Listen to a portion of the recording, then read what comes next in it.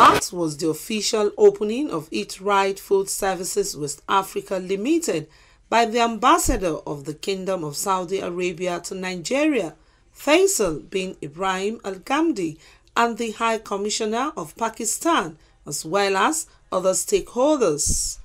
Chairman Eatrite, Alhaji Isa Inua, says the partnership with Herfy Nigeria will boost the Nigeria economy through creation of job opportunities for youths.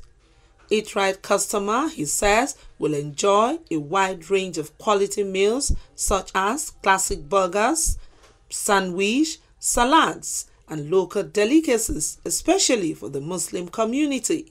We're enhancing our diplomatic relations between Nigeria and Kingdom of Saudi Arabia. We are bringing economic interests together, we're bringing people together, we're exchanging cultures, establishing additional restaurants um, and we have plans for 50 in no distant future. Eatrite Food Services West Africa also offers variety of world-class products to its Nigerian customers and what was described as my choice meal option, which Herfy is well known for, especially in Saudi Arabia.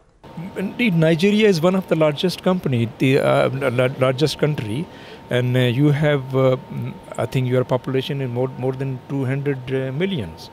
So uh, definitely, you know, this place, uh, this country, need more concept and more, you know, um, brand to come in. The children are not left out as a special space is reserved for them to have fun while they eat.